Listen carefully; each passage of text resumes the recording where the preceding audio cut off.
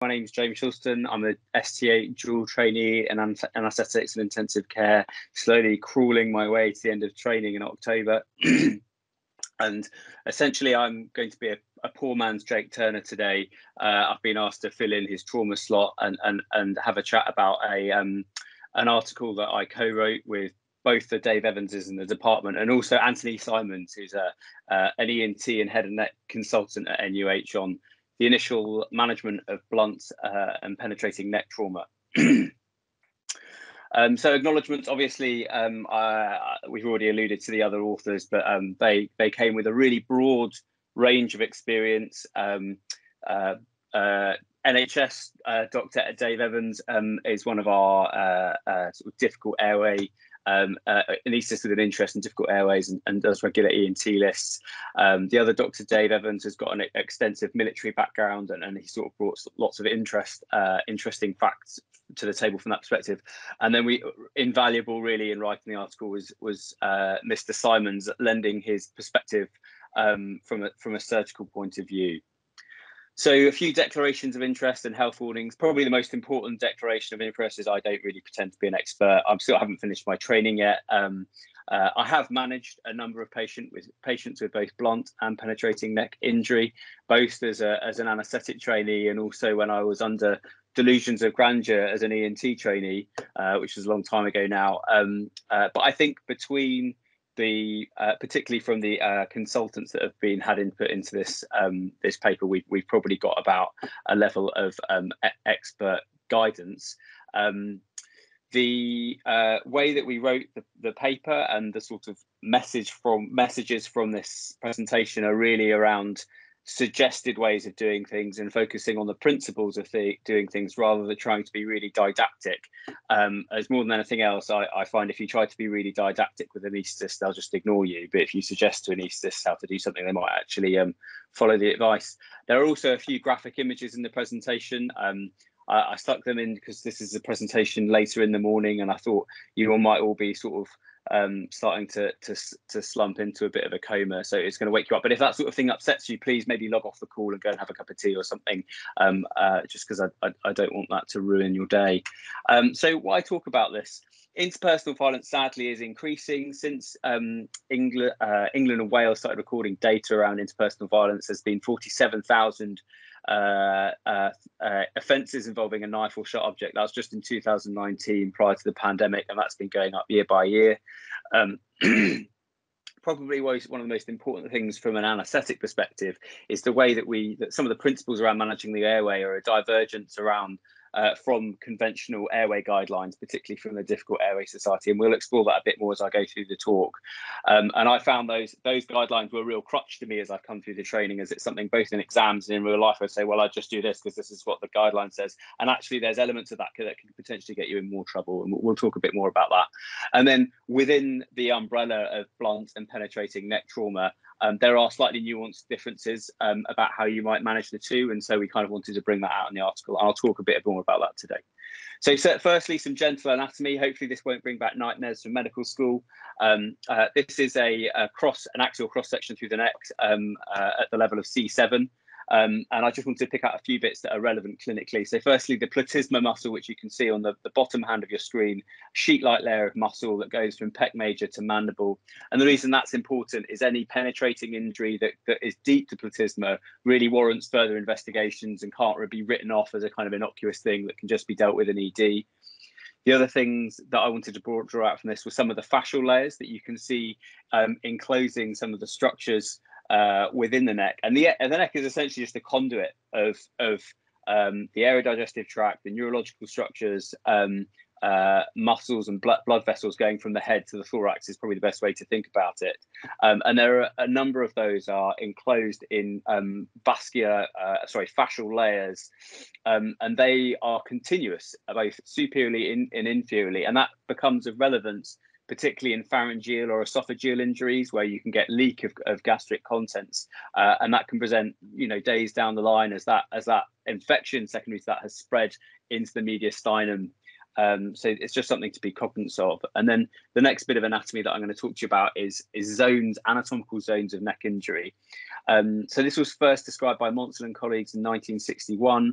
Um, and the way to think about it schematically is how each zone contains different anatomical structures. So zone three is from um, basically skull base to the angle of the mandible, zone two is the angle mandible to the cricoid cartilage, and then zone one is from cricoid cartilage to the inferior uh, and the inferior boundary is the clavicle.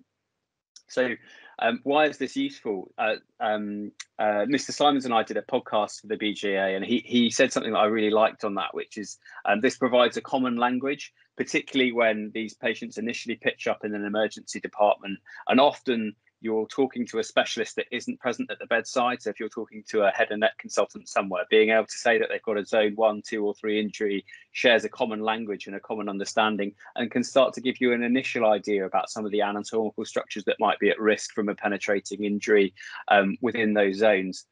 However, um, uh, there is there is limitations. It doesn't like um, really take a genius to realise that the trajectory of an injury, for example, with a long knife or with a gunshot wound, could could happily go through more than one zone. So just because you have an entry wound in one zone doesn't exclude damage to anatomical, anatomical structures in, in other zones. Um, and the zone with the highest level of, of morbidity and mortality is zone one, and that's because of the density of vascular structures and the proximity um, to the uh, to the thoracic cavity. Um, so first gory image. This is from our article. This is a patient. It's it's obviously shared with their their consent from from looks after an NUH. It shows a zone one injury, um, um, which you can see by the letter B that had penetrated. Uh, it was a stabbing injury that had penetrated the common carotid artery. Um, and it sort of demonstrates how uh, what might look like a slightly innocuous wound can still have fairly devastating um, uh, devastating effects and that, that a, a, breach to the platysma really does warrant surgical exploration. And a um, is demonstrating where there's been a surgical repair of the common carotid artery. So um, i'm now going to talk through blunt and penetrating neck trauma in sequence and i'm going to use the um, kind of well recognized a to e approach um, and talk about e each in in its own right, but, but this being an anaesthetic presentation, I'm obviously going to focus more on airway assessment and airway management um, with some a bit of chat about the other bits and pieces. So in terms of airway assessment with someone with blunt neck trauma, what you're really trying to identify is someone that's got a threatened or obstructed airway, um, and then you need to be coming up with a rapid plan um, about how to manage that. So things that might suggest that that's um, that's going to be a problem. You can think about mechanisms of injury, particularly clothesline injuries. Um, red flag symptoms such as stridor or dysphonia would be really concerning, uh, and then red flag examination findings. Stuff like hemoptysis and a rapidly expanding neck hematoma are, are fairly, hopefully you'd think were fairly obvious, but um, surgical emphysemas of, of, the neck can actually be a bit more insidious and often the patients won't report it and if you haven't you know gone to actually examine the patient and look for it you might not find it but that is a really concerning finding and really warrants explanation about why, where is there an air leak why is there an air leak you know what do we need to do about that? Um, so once you've made the decision that a patient it needs to have their airway secured um, you need to come up with a plan for that. And the first thing to discuss really are the principles around that plan that we recommend so that this needs to be a multidisciplinary plan ideally and whilst it's likely that you will have an anaesthetized uh, an anaesthetist at the bedside of a trauma patient early, it's highly unlikely you're going to have an experienced head and neck surgeon at the side of the bedside. So that needs to be mobilized early um, because it's likely that they might not even be on site. Um, and certainly within QMC, it's worth flagging that you will probably need to call both ENT and MaxFax because you don't know who's on call for each speciality. It might be that you've got the professor of otology on call for ENT or the TMJ special um, specialist on for MaxFax, and you need to get the you need to get the individual with the best skill set for that patient at the bedside as early as possible once actually planning your management strategy, the overriding principle is you need to visualize the anatomy before you instrument. And we'll talk a bit about how you can do that either surgically or from an anesthetic perspective. And the idea is that you're not going to pass anything blindly that might disrupt hematoma, restart bleeding, or create a false tract uh, uh, or um, worsen surgical emphysema or something like that. Um, and the other thing to think about is that the, the, the, difficult airway society guidelines definitely need modification and not all elements um, of it appropriate. For example, cricoid pressure is much more likely to make a laryngeal fracture worse. Um, there's debate around that anyway, which I won't explore in this presentation. Um, uh, generating positive airway pressure by, for example, bag, bag mask ventilation um, uh, prior to you having uh, a endotracheal tube or some kind of tube cuff distal to the level of injury stands the real the very real risk of making things worse potentially by dislodging um, hematoma or uh, worsening surgical emphysema which can distort anatomy further. So something that we quite strongly don't advise unless clinically it's really needed because of, of hypoxemia. Um, and conventional front of neck access is likely actually to worsen an already damaged anatomy and it's really not recommended in this setting by an anaesthetist. You should, that should really be done by an experienced ENT surgeon. Um, and we can talk a bit more about that um, in, in a moment. So moving on to airway management. Um, you've decided that this patient with blunt neck trauma needs to have definitive airway match. What options are available to you? Well, we've we broadly broke it down into those that are able to cooperate and those that are not. And in my experience um, of the patients I've managed, actually, the vast majority of them haven't been able to experience because their blunt neck trauma has been part of a number of injuries, including uh, um, concomitant head injury. And, and for whatever reason, the, these strategies haven't been appropriate. But, but assuming that they have got more of an isolated neck injury, what, what might you consider? So awake fiber optic um, is certainly on the table. Uh, benefits of that, you know, they keep the patient spontaneously breathing. Um, it maintains airway tone to an extent. Um, uh, however, it can be prohibitively challenging for a number of reasons. There might be blood in the airway from associated maxillofacial trauma. You're going to need to maintain spinal immobilization in some in some way. Um, uh, and obviously, it's going to be difficult to sit the patient up. You'll be able to tilt the trolley up, but not necessarily sit them up if you haven't managed to, to clear the spine radiologically. Um, and topical anesthesia, with or without sedation, definitely carries the risk of worsening airway obstruction. And so you need to have a plan if you're uh, if that if that happens about transitioning to a to a to the next the next layer of your plan, which hopefully we would recommend that's agreed prior to embarking on your weight fiber optic. And ideally, you've come up with a multidisciplinary plan um, before doing all of this and that that what we would usually recommend that's written on a whiteboard so that there's like a shared mental model of all the teams involved and you know in the ideal world you're moving um, slickly from one layer of that plan to another. Um, i do recognize that often for various reasons including getting the right skills to the bedside and in terms of things needing time critical event intervention that's not always possible and that might be slightly divorced from reality but if possible that's what we'd recommend the other thing that you can, can consider in an awake cooperative patient is an awake tracheostomy. Um, and this is quite a commonly strat used strategy in this setting. Um, uh, by some some surgical authorities consider this the gold standard of airway management. Benefits including allowing direct visualization of anatomical structures between the skin and, and trachea, um, help it can help to stop bleeding uh, when if that if that's identified and a tracheostomy is considered safer than a surgical cricothyroidotomy by our surgical colleagues as it offers a more definitive airway protection and it's certainly safer in the context of laryngeal separation however it is often technically challenging, especially with spinal immobilization, not allowing for that degree of neck flexion. Um, and I just want to show this video is more for like the um, more for the trainees that haven't seen many awake fiber optics in their time. Let's slightly gory. Look away if that's not your cup of tea.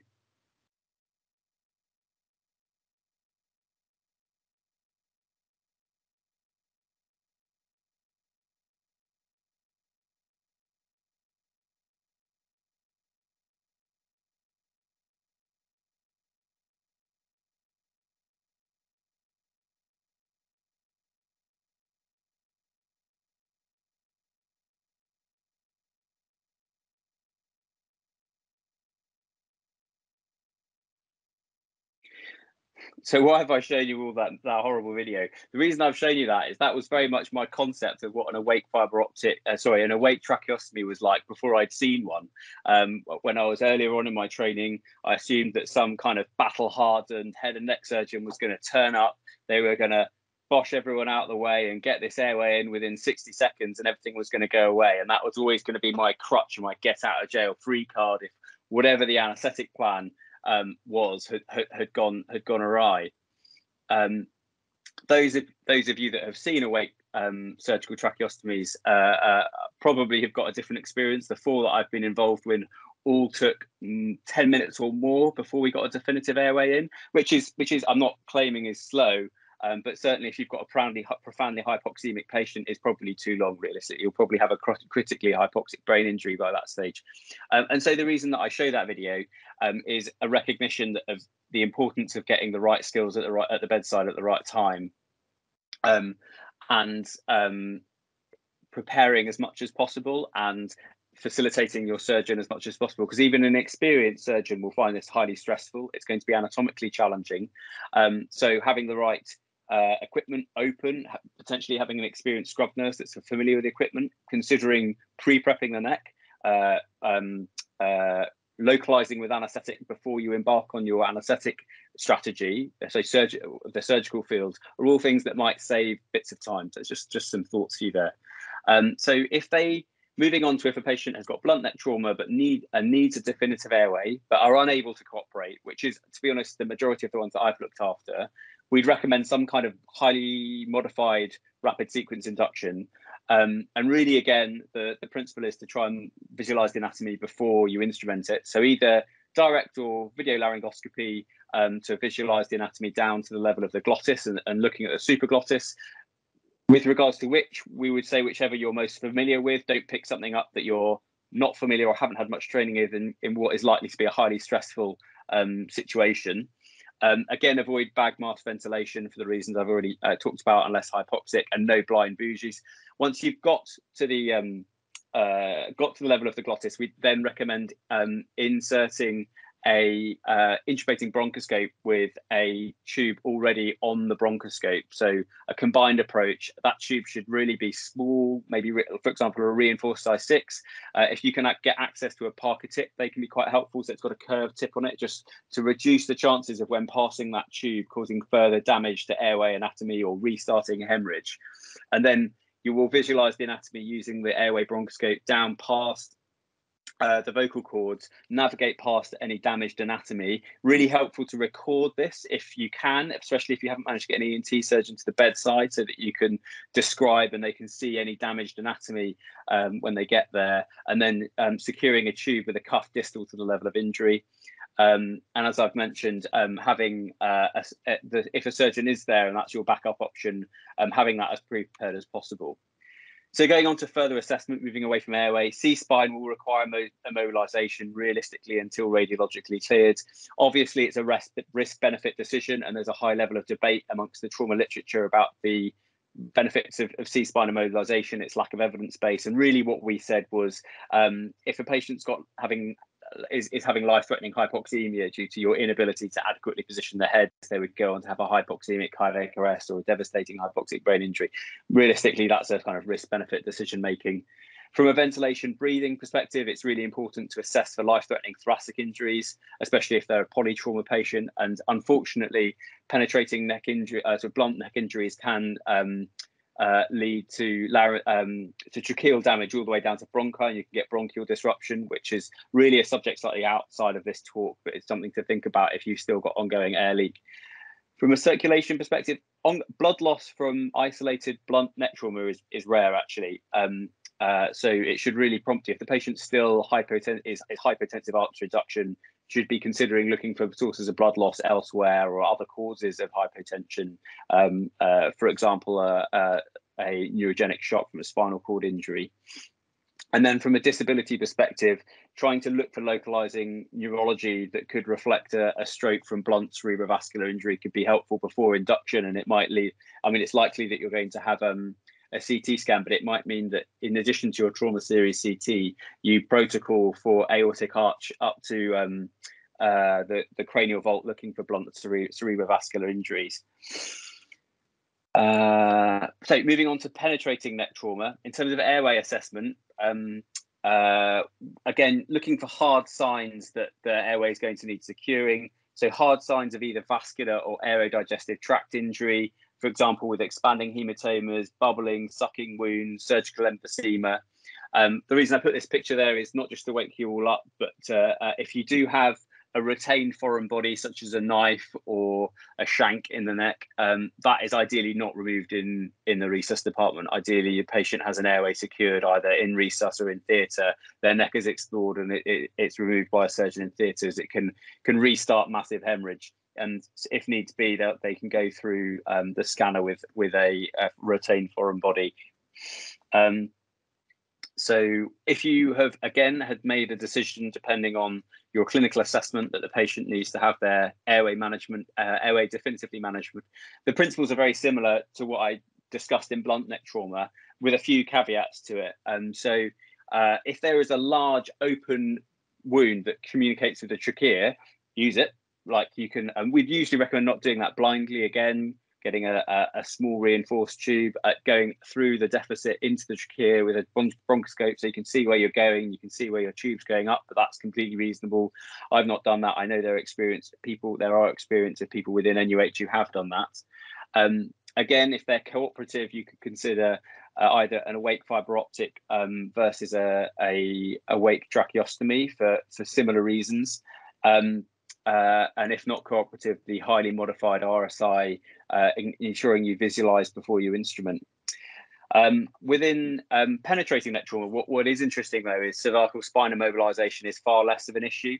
Um, it's it's much less common to have um, cervical spinal cord damage in penetrating neck injury, and actually to the extent that routine immobilization is not recommended, as it can impair adequate assessment of entry and exit wounds uh, and the initial management of ongoing bleeding from those injuries. So the US East Trauma Guideline recommend that immobilization should only be done in a penetrating neck injury where the method of injury is compatible with a spinal cord or column injury and there's evidence of a neurological deficit or you're unable to rule that out because the patient's obtunded. So typically that would be some kind of combination injury, often with a blunt injury as well. For example, uh, a blast injury or a high-speed road traffic collision with incursion into the cabin or, or objects flying about the cabin that have caused a, a penetrating neck wound as well. So in terms of further assessment from a um, ventilation breathing perspective, you need to definitely need to exclude and manage pneumothoraces and hemothoraces, especially in zone one and two injuries where you've got that proximity to the thoracic cavity. From a circulation perspective, you're much more likely to have major hemorrhage um, from penetrating neck injuries, uh, and that's going to need to be managed. And what we talk about in the article is if you have got major hemorrhage, what you really need is a sub team that can deal with that That can deal with vascular access they can they can deal with a ma major hemorrhage protocol calcium tranexaminase or you know teg whatever all that stuff it really needs to be managed by a separate senior team um, so that the uh, anaesthetist that's initially there doesn't have to kind of split their cognitive bandwidth between two really complex tasks that are, are time critical. You really need to have two anaesthetists, optimally two ODPs that can, can manage that. Depends on the resources that you've got available. Um, fortunately, in NUH, we're, we're, we have the luxury often we, we are able to do that.